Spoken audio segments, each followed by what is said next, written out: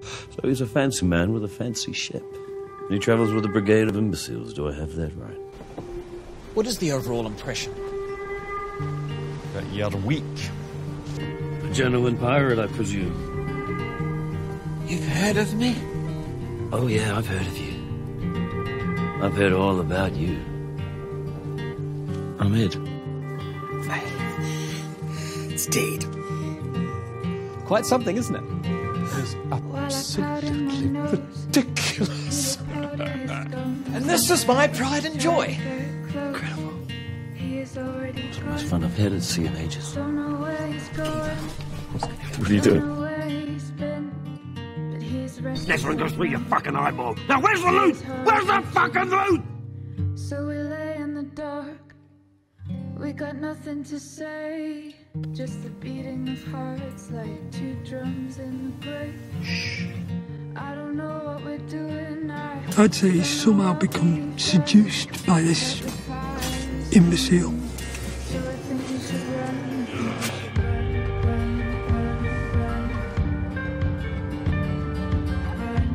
run. You'd save me a seat, wouldn't you?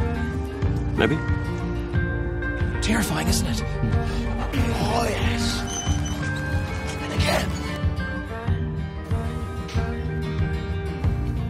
Just right.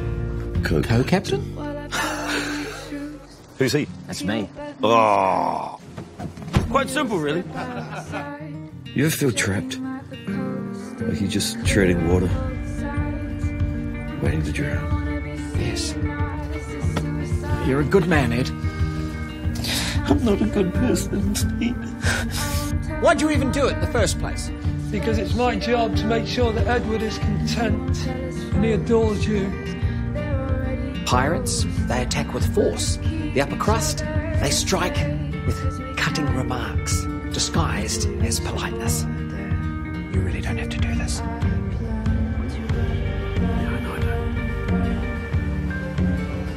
You wear fine things well. Right now, I just want to do what makes Ed happy.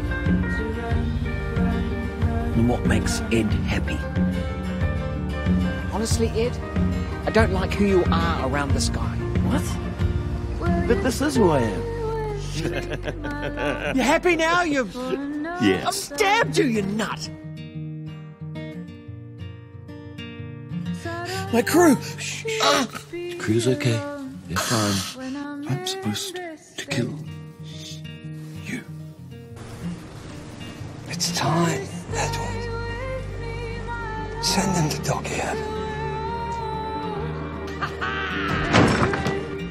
And that bizarre little man over there likes you very much. And most of the pirates I know, they're dead.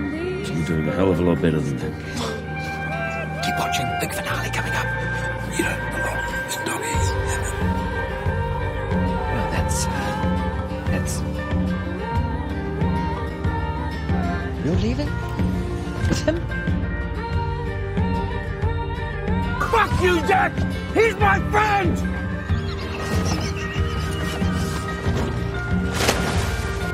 You came back. Ah, never left. So, I reckon what makes Ed happy is you.